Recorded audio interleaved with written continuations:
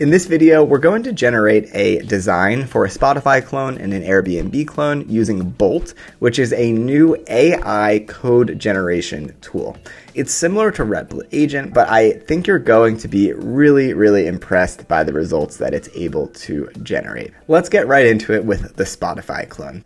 So let's go ahead and type, um, I'd like to build a clone of Spotify.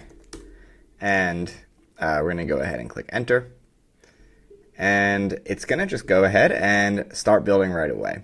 I really like the design of Bolt.new compared to Replit. It just has a really modern feel, and I like uh, just the way that it is working here. Uh, something about Bolt, uh, which um, is I think a little bit different than Replit Agent, is it uh, leans a little bit more into kind of having you write some of the code as well. Uh, so if you're completely non-technical, uh, you might get stuck a little bit uh, more quickly than you would with Replit Agent, although uh, it will tell you what code to change and how to work with it. Um, and you can also ask it to, to do it as well. Um, also, you have to connect a Supabase database or an external database backend uh, to make it actually work. Um, but let's see, uh, it says that it's created the Spotify clone with the following features. And it says it's running, but I don't actually see it. So let's see, I think I just have to go to the correct uh, file here. So if I go to app and go to preview, here we go. Um, so this is kind of amazing. So this UI that it just created uh, looks uh, pretty much uh, very similar to Spotify. And uh, this is something that before AI, you would have to hire a really experienced designer to build a UI like this. So you could take this and then customize it uh, for yourself. So kind of going here, customize the interface. Um, but this is an amazing starting point for an interface. Even the hover effects are really nice. Um, the way that uh, this works is just really, really nice. Um, okay, so uh, let's see. Um, can you build out the your library page, please? And let's see if I can take it a little bit further. So I'm just going to pause the video while it builds out the your library page. All right, so it finished uh, building it out. So now if I go and click on your library, it opens up this your library page. It put in these example songs, which is kind of amazing. It has the filtering UI working. Uh, I wonder if this actually works. It looks like the the actual logic isn't working, but the the UI is uh, kind of amazing here. Uh, so let's see. Can you now build out a page when I click on an, a song on um, the my library page. So let's see what it builds out here. And something that really stands out to me about this is the quality is just a lot higher than I've seen from other um, AI designers. Now, part of this might be because it's using Spotify as an example. Maybe it was trained on the design of Spotify, and um, that's one reason. But it's really, really impressive uh, to me how good the quality of the design is and the user interface. All right, so it says it finished up now. Uh, it has a, a new detail page um, when we click into an, a song. So let's go to the library. Let's click on a song, and there we go. Now it has a detail page. This is really amazing, um, and uh, we could actually uh, now browse a little bit more through um, our actual library here. Um, I want to see what happens if I say, how can I actually make this UI work um, with real songs? And I'm just curious what it's going to tell me. So it's starting to build the code to actually implement this functionality. So I want to see what happens and kind of uh, how far it gets. And I can see here that it's using royalty free. Uh, it said that in the code that the music was royalty free, which is pretty cool that it was pulling that in. Um, we'll see what actually happens here.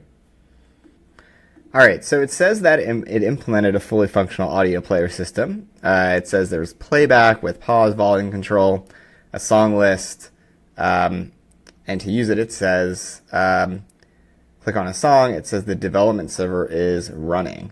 Uh, so let's go into our library, and if I click play, uh, something did seem to happen, or it seemed like the UI kind of worked but it's not actually playing the song. So potential problem detected. Show problem. Warning. Um, the play request is interrupted. Um, so let's see um, if there's different songs maybe that I could play. But I don't know. I mean, these look like just actual songs. So let's say, okay, should we try to fix these? I'm going to click Fix Problems. And uh, let's see what happens here. Okay, so it seems to think that it should now work. I can also see that on the free version I am running out of tokens, but you can subscribe for more usage as well.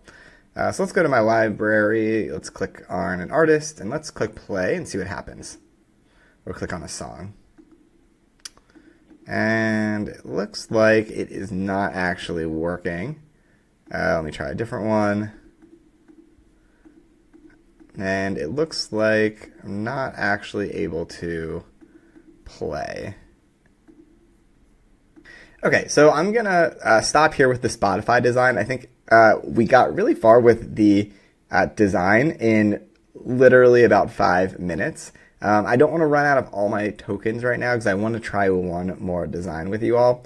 Um, but uh, this is pretty cool. You can see how far we can get. Uh, you can see where you know we start to get into a little bit of errors with um, actually making the logic work, which I think is kind of a general theme that I've seen with these AI uh, tools, uh, where the zero to one of getting like a prototype or a design is really amazing, and then it gets a little bit trickier if you don't know how to code um, when uh, you get to some of the more logic that you're trying to build out. So let's go back to the homepage, and let's say I want to build a clone of Airbnb. And uh, let's see uh, how far it's able to get here. So similar to when we uh, built this with um, uh, when we were doing it for uh, Spotify, it just starts building it right away. I'm going to create help you create a beautiful production ready Airbnb clone with modern features and a sleek design. Uh, so it's um, building it out. I can see the code right now. It's creating categories. Um, and I'm just gonna let the let this generate, pause the video, and I'll unpause it once uh, this generation is complete.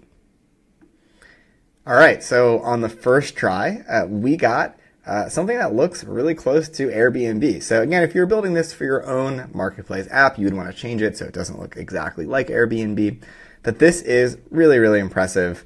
Um, and it built just that first page for now with all of these animations um, which is just really nice. Uh, let's go ahead and say, can you build a home page, or not a home, a um, a rental page where when I click into a home, I see all the information about it. And I'm running out of tokens, so let's see if it's able to do this on uh, this generation here. Okay, so here we are. It looks like I've now used up all of my tokens. Um, but if I go ahead and click into one of these listings, um, now we can see it built out the listing page with the main image and all these smaller images as well, which is kind of amazing. Uh, it has everything that you have on Airbnb. I'm assuming it was trained on Airbnb's website or kind of knows what it looks like, but this is really uh, kind of incredible. And um, if I go back or go back to the homepage, I don't know if it'll let me do that. Um, actually, so I didn't build in anything like that, but uh, the the UI uh, that it built, I'm really really impressed with. So basically, in uh, about 10 minutes, uh, you can use Bolt to build a UI uh, for. Uh, we built it for Airbnb and for Spotify. This could be really, really great for ideation, for having, you know, an idea for an app that you just want to get a prototype out for. You want to build your own design and then send it to your designer to then, you know, flesh it out and, um, and, and then, you know, you can turn it into a real app later. I think that Uh, this does have the ability to build the full backend as well. You would need a lot more tokens for that, um, and you're going to have to go back and forth with it a lot more. Uh, so, and, but I do think that in the future, in a year, uh, that might be a one-click thing as well. So uh, we'll see how long it takes to get to that capability. It might take a lot longer than a year, but you know, it's really cool to be playing around with these AI tools uh, so early. And, and you know, if you're watching this, you're way ahead of the curve on understanding what's possible here um, with AI and, what these tools are capable of. So. Uh, thanks for watching. Be sure to check the link in the description to go to No Code MBA's Coding with AI course, where you will learn how to build a portfolio website, a Chrome extension, and a Slack bot using ChatGPT and Replit uh, from start to finish. It's a really great course. I highly recommend checking it out if you're interested in all of uh, this kind of thing. Uh, be sure to, to subscribe to our YouTube channel to get future content like this here for free. And leave a comment below if you have any questions or any ideas of videos that you'd like us to create in the future. Thanks again for watching, and I'll see you in the next video.